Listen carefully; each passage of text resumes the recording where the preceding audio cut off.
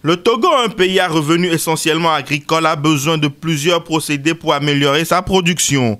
Et pour ce faire, les agriculteurs utilisent souvent des pesticides qui nuisent à la santé humaine et environnementale.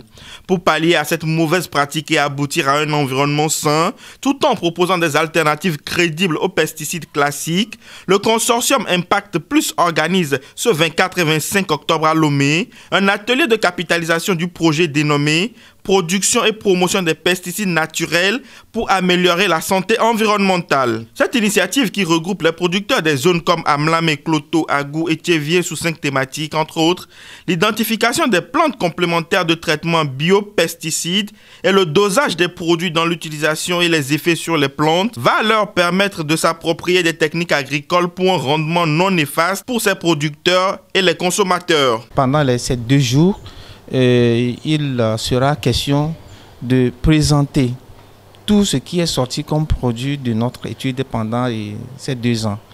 Et il sera également question aussi de, d'avoir l'appréciation de nos collègues ONG, associations sœurs, qui développent aussi la même chose. Et donc, on se dit euh, qu'il va y avoir, euh, pendant le déroulement de cet atelier, des travaux de groupe. Vu que nous avons les services techniques de l'État parmi nous, euh, nous avons euh, les structures euh, qui peuvent quand même appuyer le processus un peu après l'atelier parmi nous.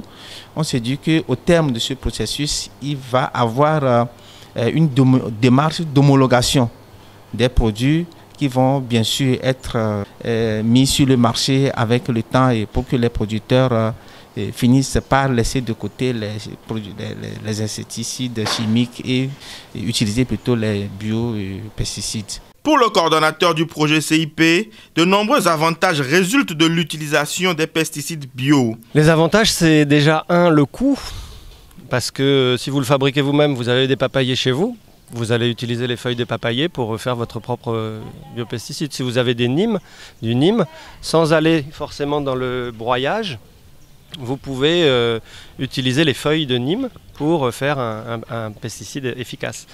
Bah, pour l'environnement, c'est les nappes phréatiques par exemple qui ne sont pas polluées. En rappel, le projet CIP fait partie des neuf lauréats de l'appel à projet PISCA lancé par l'ambassade de France en 2016.